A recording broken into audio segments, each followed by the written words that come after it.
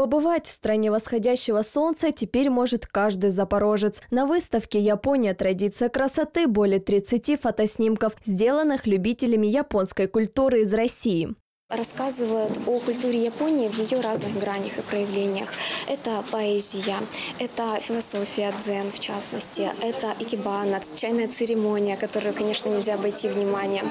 И э, в целом, как, э, если эти все стенды ну, вот, посмотреть, да, почитать, и мы будем говорить на лекциях, э, создается ощущение того, что мы все-таки немножечко ближе становимся к этой культуре. Это фигурка Бадхисатвы. В буддизме это существо, которое познало истину и обрело просветление. Здесь она вот э, одета, то есть что очень тоже по-японски. Рядышком стоят цветы, то есть она оформлена, э, проявлена забота людей, да, и э, у японцев в целом есть представление о том, что э, в каждой э, вещи, в природе э, в, и в фигурках э, в том числе, да, всегда присутствует э, дух или душа.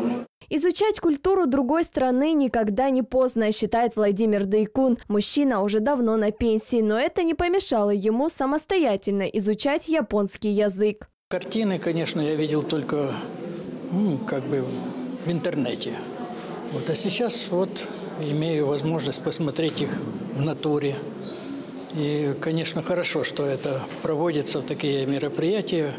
В Запорожье есть возможность приобщиться к культуре, японской культуре меня сейчас интересует.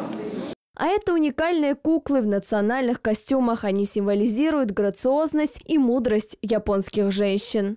В целом мы можем увидеть э, традиционные э, убранства, э, атрибуты какие-то такие, как веер, да, и э, прически и оформление. Выставку уже видели в Днепропетровске, Львове, Донецке, Полтаве и Киеве. Организаторы планируют объездить всю Украину и приобщать украинцев к японской культуре. А в Запорожье посетить выставку горожане смогут до 29 октября. Сидония Аракелян, Олег Мовчанюк, ТВ5.